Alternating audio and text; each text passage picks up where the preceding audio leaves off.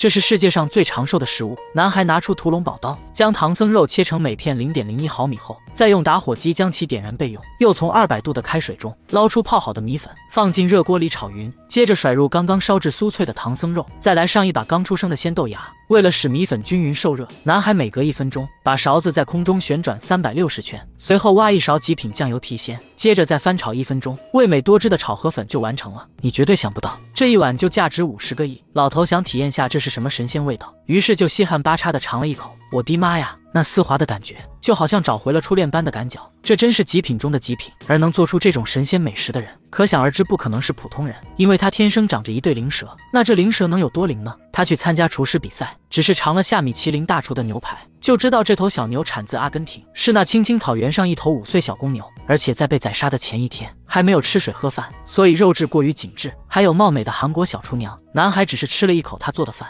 就吃出了她采集的山参海拔不够高，根本没有充分发挥它的香气。下一个就是这个做寿司的日本厨师，男孩又浅尝了一口。就说他偷工减料，没有严格按照要求采用北海道的冰水去清洗菜刀，而是退而求其次用了富士山的矿泉水，更是只是喝了一口瓦岗里的汤，就知道厨师居然少熬了三秒，这哪是舌头，分明就是透视眼啊！可你绝对想不到，这么优秀的厨神，却是个曾经被爸爸抛弃的孩子。原来在几亿年前的今天，男孩刚一出生，舌头上就多了一块莲花胎记，本来是一件大好事，结果妈妈却因为难产而死。迷信的爸爸以为他是个灾星，就把他送给自己的好友喂养，这一养就是二十年。谁成想，当年被遗忘的小男孩，如今却摇身一变成了厨神。他做的菜每天都有无数的人排着队的等着购买。直到这天，小镇来了个陌生人，老头只是尝了一口，没错，就是这个味。可老头刚擦完屁股就想不认账，说好的一碗米粉五十个亿，结果却只给了男孩一个黑塑料袋，里面还啥都没有，只有三个破布包。本以为这是老头骗傻小子的伎俩，结果男孩却愣住了，因为他想起了师傅临终前说的话：将来会有人带着三个锦囊来找你。到时候，话还没说完，他就嘎了。老头告诉男孩，只要按照锦囊里的做，五十亿现金就可以带走。然而，这个男孩的身份也不仅是个神厨这么简单。很快，他就背着一口锅来到第一个锦囊里提到的唐氏餐饮集团，结果却被保安误以为是来砸场子的，上去就被几个保镖给胖揍了一顿。对战中，大壮不小心露出了自己舌头上的胎记，保镖队长一看，浑身一惊，于是又叫来了加倍的保安。这下惨了，不到一秒的功夫，所有人都被电晕了过去。等到大壮醒来，却发现自己多了一个爹。只见床上马上要嘎了的老头，突然就坐了起来。瞬间啥病都没了，万万没想到大壮还是个富二代，而那五十亿正是自己要继承的遗产。如此爆炸的消息一出，马上就登上了个大报纸。这作为厨神，那还是难事吗？这不就是天上掉下来的大馅饼吗？可他还没高兴上两个小时，却惊恐地意识到，这其实是个巨大的陷阱。原来唐氏集团面临破产，而找回大壮的目的，根本不是为了让他继承五十亿的遗产，而是继承这五十亿的外债。好家伙，这不纯纯的冤大头吗？怪不得一秒就让他上报纸。但也不是不能起死回生，专门坑娃的爹就托梦告诉他。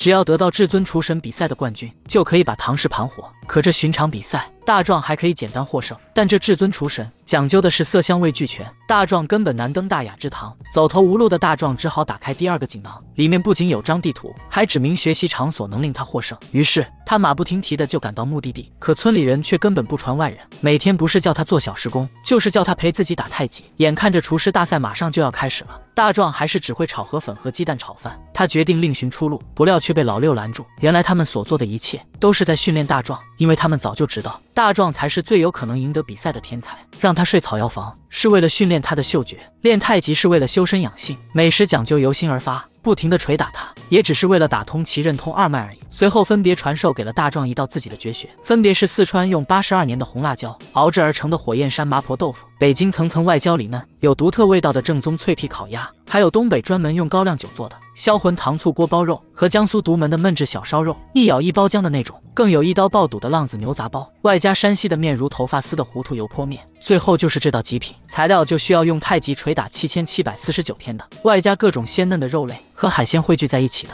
龙蛋九子雄霸天下的绝色美食，眼看自己习得了一身的绝技，为了报答爸爸的养育之恩，大壮决定挑战至尊厨神。可你绝对没见过这么比赛的，选手面前根本没有任何食材，却都要蒙上眼睛。进入二次元后，两个人面前就缓缓地展开了一幅画。大壮挑战的不是别人，正是至尊厨神。只见两个人分别从画里拿出一条还没死透的小鱼，把其放到万年寒冰上。再切成一百零八块，摆好盘后放入蒸屉，紧接着将眼前唯一的一口锅用内力加热，随后又分别从画里挑选自己趁手的食材作为配料，分别打造出最符合自己气质的高颜值背景。最后就是老汤的调制了。他们各自又跳进了画里，为了争夺自己的料条，两个人开始大大出手。不料厨神居然使出了大招，想要一击击败大壮。而现实中他们本体已是大汗淋漓，一时难分胜负。就这样，一年后，他们整整斗了九千九百八十一个小时。等到画布被烧毁，两个人也终于拿到了调料。随着奶白的老汤散在锅中，两个人也最终难分胜负。可万万没想到，邪恶的厨神却留了一手。他将手里的黑色八角悄悄弹进了大壮的锅中，顿时奶白的浓汤就变成了黑色。毋庸置疑，这趟算是废了。小胡子得意的把汤浇到自己的美食里，完成。本以为胜券在握，可大壮只是用灵蛇尝了一口。就直接击碎了厨神的内心，因为他的食物多了一种味道，一种欲望的味道，更是一种孤独寂寞的味道。原来美食的最高境界不是输赢，而在于心，应该有爱和希冀。大壮把所有人的希望都化作力量，成功击碎了锅中的屏障。神奇的一幕发生了，两个颜色的汤合在一起，却变成了黄金汤。那是一种来自人间的人情味。厨神只是尝了一口。就知道自己已经输了。成功不在乎输赢，只在于内心。大壮最终获得了至尊厨神的冠军，也成功的救活了爸爸的集团。最后，愿你也能用平常心去体验人间的冷暖，去收获不一样的幸福。走到八百米的高台，想要跳水，结果她这一跳，却直直的飞上了天。我的天呀，这可把地面的人都惊呆了。就这操作，牛顿都得被吓醒。但女人却丝毫不紧张，还十分享受。她究竟要去哪里呢？就在大家纳闷的时候，女人已经冲上了大气层，但她却没有和大气层擦出任何火花，就连气象局的人都无法解释这一切。随后，女人又一秒就冲进了太空，直接向太空站飞去，还激动的和工作人员打招呼。这可把站里的人吓坏了。没有人知道它为什么不需要氧气就能在宇宙自然呼吸，还可以像鱼一样在太空里游泳。离开空间站后，她就飞到了月球，还抓了一把月球的土，表示自己来过。随后又来到了一个神秘的星球，那里的机器人也被惊呆了。他从来没有见过，好奇这到底是什么物种。而女人就越飞越快，最后还以光的速度穿梭在宇宙太空中，游了整整三十六个小时后，女人累了，她决定重返地球。于是她加足马力，直直的冲向地球，又以光速冲进了地球的大气层，更没有任何伤害的回到了地球。眼看自己马上就要落地了，女人硬是摆好了个落水的姿势，啪叽掉进了水里。那你知道这是什么原理吗？这几个六岁小朋友正要举行一场赛车比赛，他们分别是爱臭美的小红，上来就不停的拍照；还有气质优雅又迷之自信的小美，爱吃糖的小胖，没有什么是一顿饭解决不了的；和爱吃冰淇淋的小伟，他的运动力极强；还有最爱玩具熊的小强和沉着冷静的大壮。就在大家都准备好后，信号灯发起了信号，大家开始火速出发。只有爱美的小红还在和男友发信息，这可把身后的小美急坏了。她不知道转弯，就知道训斥前面的小红，这下完蛋了。小红怒了，她一把摘下了眼镜，立马站起了身体，凶猛的用手拍到小美的车上，开始反击小美。好了，小美的车也不能动了，两个人就开始争吵起来。这两个人还没有出发，就输在了起跑线上。而跑出去的几个男孩开始拼命的争夺胜利。运动力极强的小伟要强行超过前面的大壮，还把大壮逼到了一角。于是。两个人争吵起来，但大壮不认输，于是开始更加努力的想要超越小伟，而爱吃糖的小胖和酷爱小熊的小强。却在大大出手。原来是他们不小心把彼此的车给撞坏了，所以他们两个人也出局了。现在只剩下运动力极强的小伟和沉着冷静的大壮了。可就在这时，大壮却拿出了水枪。原来这一切都是男人小时候的梦，却出现在了现实。那你们是否有同样的经历？一些现实的场景也曾经在梦里出现过呢？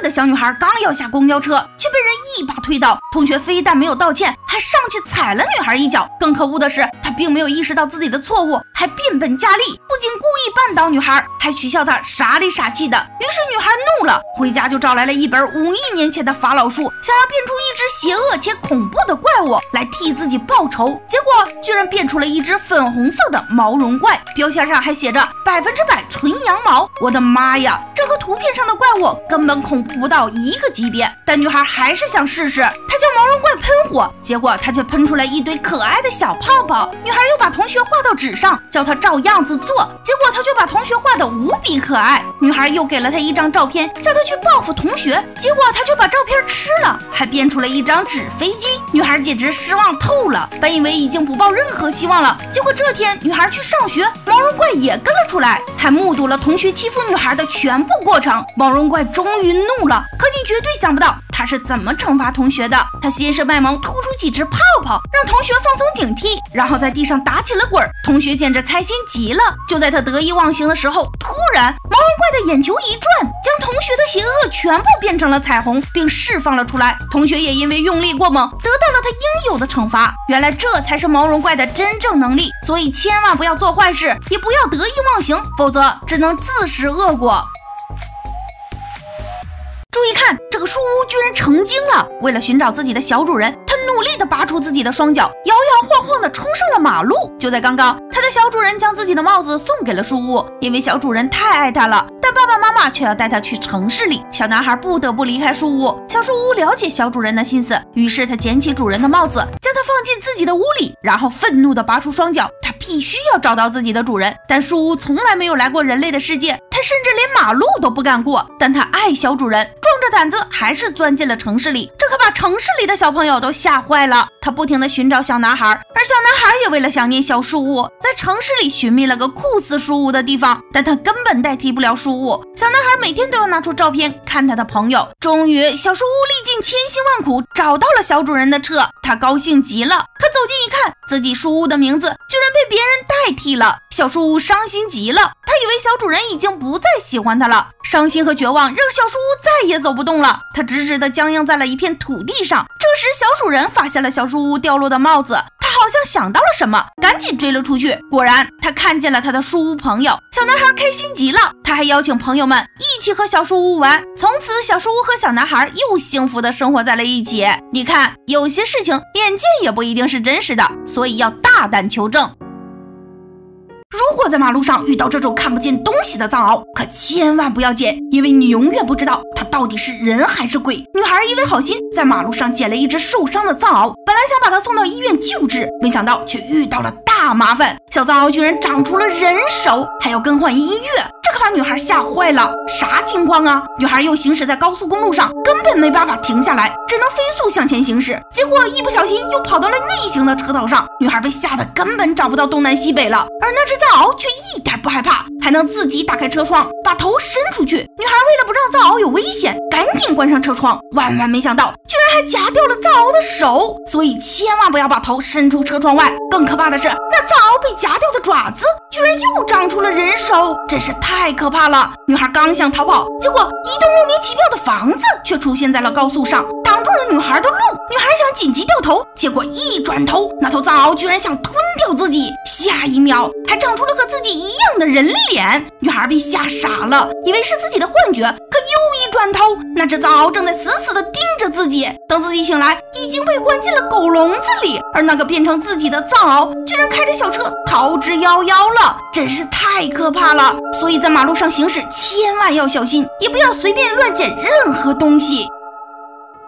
男人好像发现了什么可怕的东西，仔细一看，居然是月亮想要进攻地球。这强大的压迫感简直让人窒息。就在男人诧异的时候，突然屋子里所有的玻璃都开始被震碎，就连墙皮也好像被什么强大的力量一层一层的剥了下来。男人被吓坏了，他想逃出去，可诡异的是，怎么都找不到房间的出口。没办法，男人又一次看向月亮，却发现月亮正在以光速迅速压了下来。下一秒，这究竟是发生了什么？就在刚刚，男人还在床上睡觉，突然好像梦见了诡异的现象。于是他抬头一看，月亮好像在慢慢向他移动。男人赶紧想吃点东西压压惊，结果却发现冰箱里全都是虫子，就连家里的花花草草也好像成精了，全部变成了食人花。男人被吓坏了。更可怕的是，就连墙皮也开始一层层的被玻璃墙面，所有的水都开始结冰，然后破碎。男人赶紧去叫自己的妻子，结果却发现妻子已经变成了冰人。再一抬头，男人已经被月亮吞掉了。可下一秒，有一个女人从噩梦中惊醒，惊魂未定的她一转头，却发现屋子里的东西都好像被烤化了。原来是太阳正在靠近自己，随着温度越来越热，所有的鱼都被烤熟了。更可怕的是，女人一转头，居然发现丈夫已经变成了千年干尸。结果不出意外，女人居然被太阳吞掉了。但万万想不到的是，这么恐怖的事情，居然是夫妻俩在做梦。呵呵，这结局你们猜到了吗？